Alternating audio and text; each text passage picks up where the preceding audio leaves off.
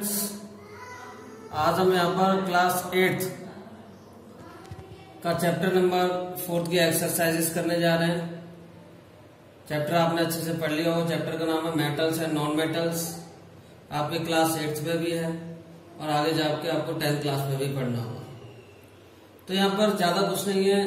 Metals क्या है? Non metals क्या है? उनकी properties physical properties chemical properties उनके यूजेस ये सारी चीज़ें आपको पढ़नी पड़ेंगी इस चैप्टर में। और आपने पढ़े होंगे। तो एक्सरसाइज स्टार्ट करते हैं क्वेश्चन जो फ़र्स्ट है। ये मल्टीपल चॉइस क्वेश्चन है। क्या ये? मल्टीपल चॉइस क्वेश्चन है। Which of the following can not be beaten in to thin sheets तो मैं आपको बता दूँ, ज़्यादातर जो मेटल्स हैं most of the metals can be change into sheets and this property of metal is called malleability. ठीक है? ज़्यादातर जो मेटल्स हैं, उनकी हम पीट पीट करके उसकी सीट बना सकते हैं, चपटी सीट बना सकते हैं। जैसे आपने आयरन की सेट्स देखे होंगे, चद्दर वगैरह पड़ी रहती है घरों के आगे तो सीट्स होती है, ठीक है?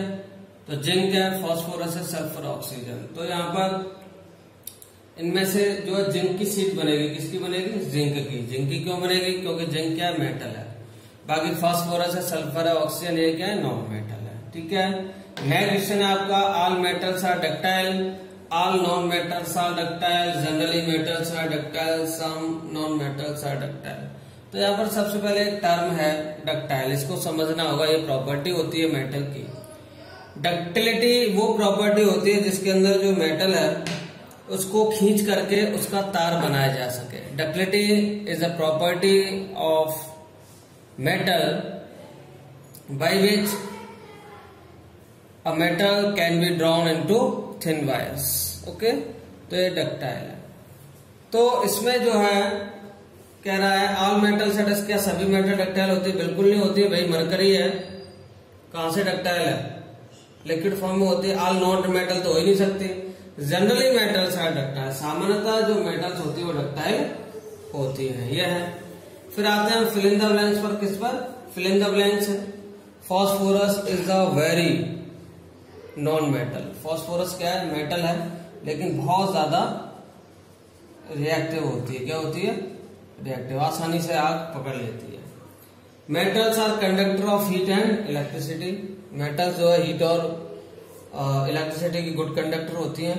Heat and electricity iron is reactive than copper iron is more reactive iron जो होता है वो कॉपर की तुलना में बहुत ज़्यादा रिएक्टिव होता है और किसी भी एक्टिव सॉल्यूशन में जब इनको आपस में मिलाया जाता है तो आयरन जो है कॉपर को डिस्प्लेस कर देता है। ये जो रिएक्शंस है, उसमें हम पढ़ेंगे। Metals react with acids to produce जो मेटल्स एसिड के साथ रिएक्शन करती हैं तो ये हाइड्रोजन गैस क्या? हाइड्रोजन गैस को रिलीज़ करती हैं। फिर आते हैं ट्रू फॉल्स पर किस पर ट्रू फॉल्स पर। Generally non metal react with acid बिल्कुल एकदम ये गलत स्टेटमेंट है, क्योंकि जो नॉन मेटल होती हैं, वो एसिड के साथ रिएक्शन करती ही नहीं है तो ये क्या होगा? फॉल्स होगा। नेक्स्ट क्वेश्चन है sodium is a very reactive metal एकदम ट्रू है क्योंकि सोडियम जो है बहुत ज़्यादा रिएक्टिव मेटल होती है रूम टेम्परेचर पर इसमें आग लग जाती है। तो ये क्या है ये? ट्रू है। नेक्स्ट जो क्वेश्चन है copper displaces zinc from zinc sulphate solution zinc sulphate solution मतलब जेड एन एसओ फोर तो ये कह रहा है, इस सॉल्यूशन के साथ अगर कॉपर को मिलाया जाए तो कॉपर जिंक को डिस्प्लेस कर देती है। मतलब ये जो रिएक्शन है डिस्प्लेसमेंट रिएक्शन होती है, हम बताएँगे आपको आगे। तो ये गलत है, क्योंकि जिंक जो है वो कॉपर से ज़्यादा रिएक्टिव तो zinc is more more reactive than copper than copper is unable to displace zinc but zinc can okay तो ये फॉल्स है क्योंकि जिंक डिस्प्लेस कर सकता है, लेकिन कॉपर जिंक को नहीं कर सकता। Coal can be drawn into wires ये तो आप अपने आप ही समझ गए होंगे। ये कह रहा है कोल को तार में बदला जा सकता है। भाई, कैसे बदलाया जाता है कोल तो क्या है, बहुत ज़्यादा कमज़ोर होता है। क्षणभंगुर होता है, ब्रिटल होता है, कैसा होता है? ब्रेटल होता है तो इसका तार कैसे बनेगा? टूट जाएगा तो ये क्या है? फालतू। और दूसरी बात नॉन मेटल है। फिर जो है, क्वेश्चन है आपका distinguish between metals and non metals on the basis of these properties यहाँ पर कुछ प्रॉपर्टीज़ दे रखी है। उनके बेस पे आपको, उनके बेस पे आपको मेटल नॉन मेटल को डिस्टिंग करना है तो हम यहाँ देखते हैं। अपियरेंस सबसे पहले अपियरेंस मतलब देखने में कोई चीज़ कैसी है। तो अपियरेंस मेटल जो होती है, वो लस्ट्रस होती है। लस्टर मतलब साइनिंग लस्ट्रस मतलब साइनिंग या साइनिंग कह सकते हैं। तो most of the metals are lustrous and most of the non metals are dull यहाँ पर अब जैसे बात आई कि नॉन मेटल अभी कोई कहे कि सर आयोडीन तो लस्ट्रस होती है, आयोडीन में तो बहुत चमक होती है, जबकि नॉन मेटल होती है। अरे भाई एक्सेप्शन भी तो कुछ होते हैं तो एक्सेप्शन है ये। क्या है? अपवाद है कि आयोडीन लस्ट्रस होती है, लेकिन जनरली जो नॉन मेटल्स होती है डल होती है। हार्डनेस तो मेटल जो होती है, वो जनरली हार्ड होती है। अब बात आती है मरकरी की मरकरी तो लिक्विड फॉर्म में रहता है। तो भी एक्सेप्शन है, अपवाद होते हैं कुछ। तो मेटल जो जनरली हार्ड होती है और ये नॉन मेटल सॉफ्ट होती है। मेलेबिलिटी आपको बताई थी मेलेबिलिटी वो मेलेबिलिटी वो प्रॉपर्टी होती है, जिसके अंदर किसी भी मेटल को पीट करके उसकी सीट बनाई जा सके। फावड़ा वगैरह भी लोहार बनाते हैं वो पीट पीट के बनाते तो मेलेबिलिटी है वो। प्रॉपर्टी क्या है वो? मेलेबिलिटी है।